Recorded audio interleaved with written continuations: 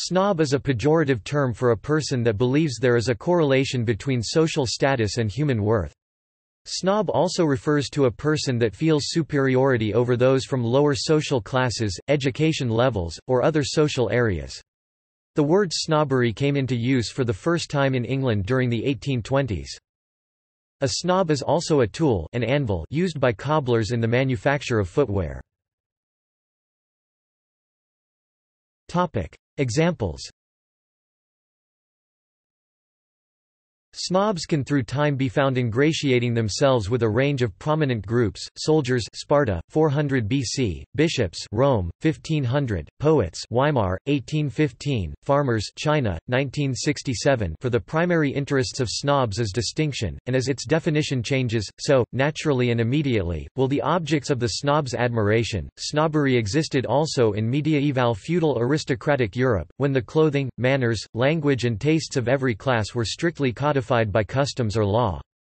Chaucer, a poet moving in the court circles, noted the provincial French spoken by the prioress among the Canterbury pilgrims.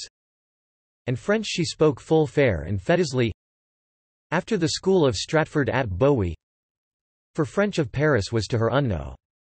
William Rothwell notes, "...the simplistic contrast between the pure French of Paris and her defective French of Stratford at Bowe that would invite disparagement."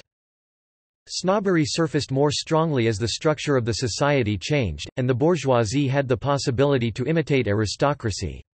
Snobbery appears when elements of culture are perceived as belonging to an aristocracy or elite, and some people the snobs feel that the mere adoption of the fashion and tastes of the elite or aristocracy is sufficient to include someone in the elites, upper classes or aristocracy. However, a form of snobbery can be adopted by someone not a part of that group, a pseudo-intellectual, a celebrity worshipper, and a poor person idolizing money and the rich are types of snobs who do not base their snobbery on their personal attributes. Such a snob idolizes and imitates, if possible, the manners, worldview, and lifestyle of a classification of people to which they aspire, but do not belong, and to which they may never belong wealthy, famous, intellectual, beautiful, etc.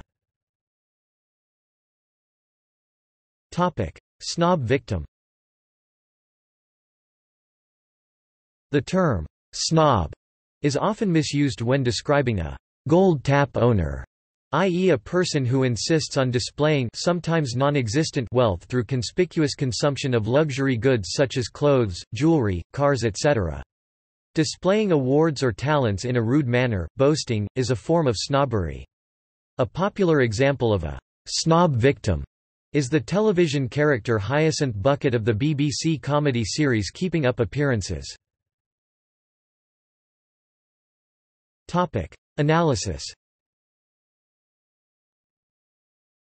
William Hazlitt observed, in a culture where deference to class was accepted as a positive and unifying principle, "...fashion is gentility running away from vulgarity, and afraid of being overtaken by it."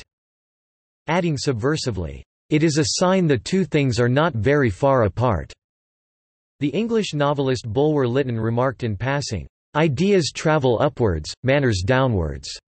It was not the deeply ingrained and fundamentally accepted idea of one's betters that has marked snobbery in traditional European and American culture, but aping one's betters. Snobbery is a defensive expression of social insecurity, flourishing most where an establishment has become less than secure in the exercise of its traditional prerogatives, and thus it was more an organizing principle for Thackeray's glimpses of British society in the threatening atmosphere of the 1840s than it was of Hazlitt, writing in the comparative social stability of the 1820s.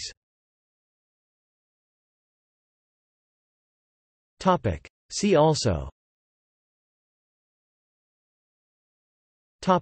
References External links Joseph Epstein, In a Snob-Free Zone. Is there a place where one is outside all snobbish concerns? Neither wanting to get in anywhere, nor needing to keep anyone else out?